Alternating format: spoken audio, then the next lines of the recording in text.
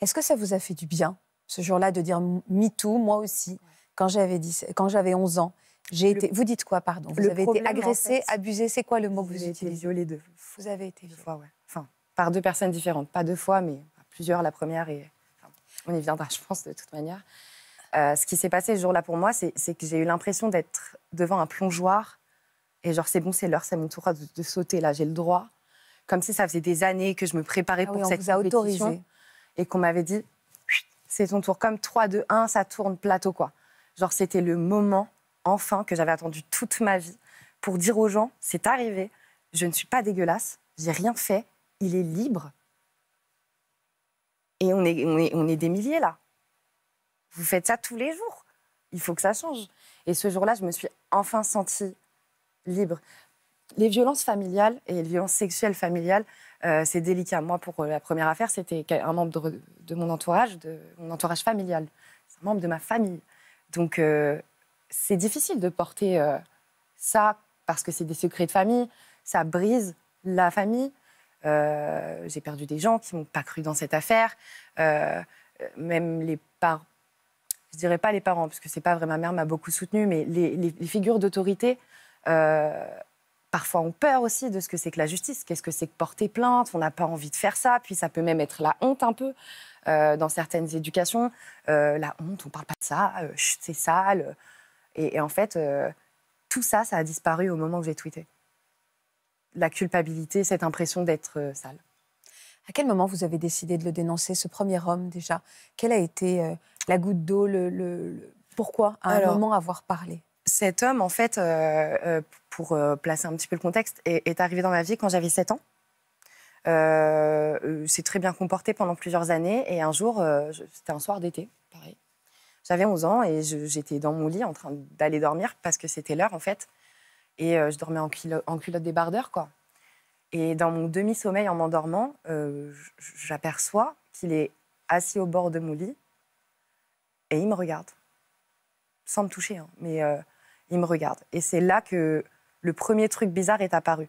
Sauf que c'est quelqu'un à qui je fais confiance, c'est quelqu'un que j'aime, euh, je suis un enfant.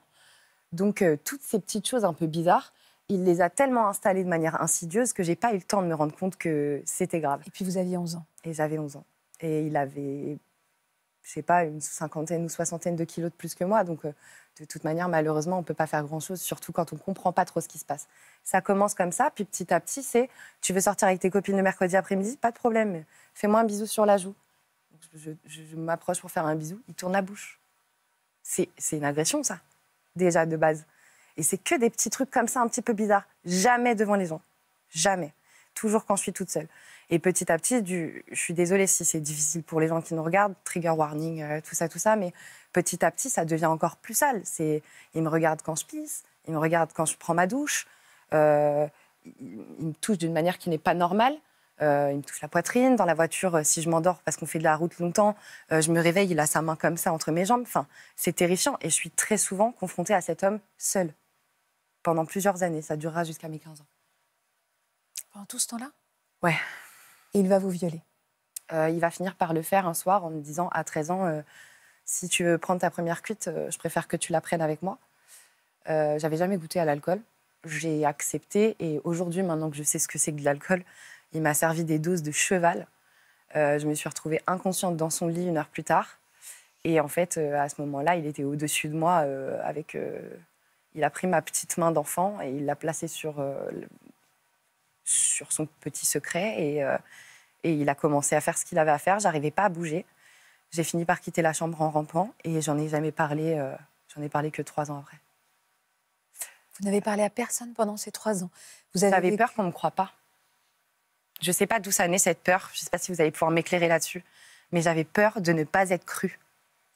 Mais oui, on a peur de. Vous l'avez dit tout à l'heure, hein, un adulte, euh, on a l'impression qu'il détient l'autorité, qu'il détient le savoir pour les enfants. On a peur aussi parce qu'on se dit, bah, peut-être qu'on l'a rêvé, ou peut-être qu'il va s'excuser, ou peut-être que ça va changer. Au-delà de ça, bon là c'est pareil, en racontant les souvenirs reviennent, mais on en parlait tout à l'heure avant qu'on commence l'émission. C'est surtout que la, toute première fois où il a vraiment touché euh, euh ma, sexe à moi, j'ai envie de vous dire, ouais, je sais pas pourquoi j'ai du mal à dire c'est moi à la télé le, pas grave, sexe. Pas grave. m'a touché le sexe pour la première fois.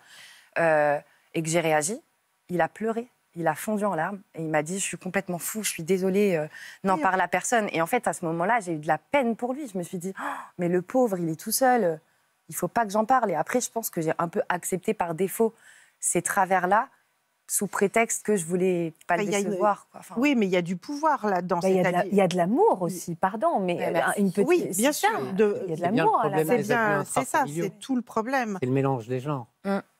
C'est-à-dire que vous allez avoir de la peine pour lui, vous vous, vous dites oh là là, qu'est-ce qui s'est passé le Et puis pour les autres concernés de la famille, si je parle, il va tout perdre, moi aussi je vais tout perdre. Les conséquences sur les autres, bah, il va perdre son travail. Briser la famille, donc repose sur les épaules d'une petite fille de 11 ans l'union de la famille. C'est trop lourd, c'est beaucoup trop lourd. Donc vous faites le choix de vous taire. Totalement. C'est tellement injuste. Très injuste, je suis d'accord. Hein, alors que vous sentez et que vous savez que ça n'est pas normal. Et pourquoi parler à 17 ans alors? Il y a eu quoi? Qu'est-ce qui vous a aidé? ça parce que tous les matins, je me lève avec mon corps que j'ai mis des années à être capable de regarder. Parce qu'aujourd'hui, à 27 ans, je me réveille encore certains matins et je vomis de trauma pendant des heures et des heures et je ne peux pas manger pendant trois jours. Aujourd'hui encore, je me fais souvent hospitaliser. Euh, je commence ma journée par trois médicaments avant mon café. Pourtant, je suis quelqu'un de sain qui n'a jamais rien fait de mal à personne. Donc, à un moment donné, à 17 ans, ça finit par euh, sortir et on se dit, mais en fait, c'est pas possible. Puis il y a toute cette colère aussi qu'on emmagasine pendant des années. Je me suis retrouvée à avoir envie de lui rouler dessus en voiture. J'ai même pas le permis, donc ça risque pas d'arriver. Mais je ne suis pas quelqu'un de violente. Et c'est des espèces de pensées intrusives qui viennent en permanence te gifler, même quand c'est ton anniversaire et que tu passes un super moment. Il suffit qu'un ballon éclate et tu te rappelles que le soir où la porte a claqué, il l'a claqué et toi, tu étais enfermé dans la chambre et tu pouvais plus sortir. Mais là, c'est ton anniversaire, tu n'as pas, pas de raison d'avoir peur. Mais dans l'instant, tu te retrouves dans ton corps de 13 ans et tu flippes à ta propre soirée, quoi. Et je comprends parce qu'on ressent votre colère encore. Je suis désolée. Mais non, pourquoi Pas du tout, au contraire. il faut que ça sorte, il, faut la, il faut la sortir, cette bien colère. Bien sûr que je suis en colère, bien sûr que je suis en colère. Vous avez raison. Mais hein. comment on peut toucher le corps d'une petite fille pendant 5 ans impunément? Il y a eu un procès non, euh, pas du tout. J'ai porté plainte, euh, on a pris ma plainte en 20 minutes euh, et ça a été classé sans suite en 4 heures. Hum. En 4, heures. Et il y a une colère également chez vous, beaucoup de peur. On est en colère sur ce plateau, évidemment.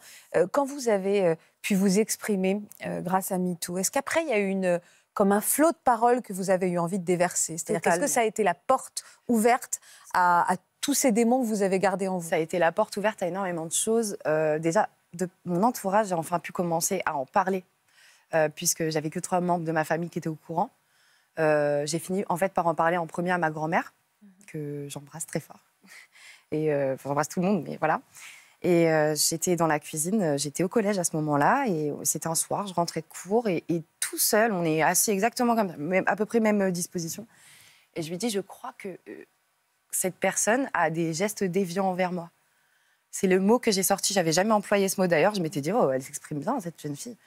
Et bref, ma grand-mère, en fait, me, me arrête forcément tout ce qu'elle fait, m'emmène dans une pièce au calme et me fait parler. Toutes les deux, on se rappelle pas vraiment de cette conversation. Encore une fois, tout, quand c'est dans l'émotion, oui, on est, sonné, bien sûr. On se rappelle que j'essaye de replacer mes mots, mais encore une fois, au tout début, quand je racontais cette histoire, je racontais pas les détails. Je disais juste, bon, une fois, un petit peu, peut-être. C'était pas du tout une fois, un petit peu, je le savais. Mais j'avais peur de dire. Vous lanciez un petit peu, mais pas trop, quoi. Exactement.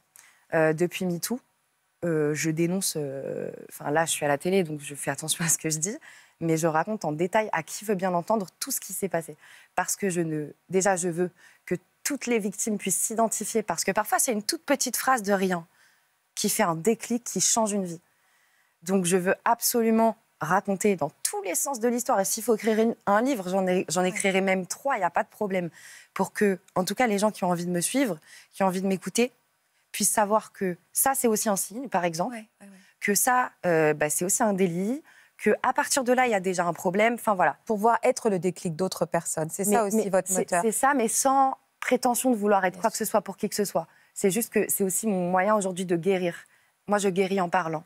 Je rappelle le numéro, le 119, hein, pour euh, c'est l'aide d'enfants en danger. Vous n'avez aucun doute, vous appelez immédiatement.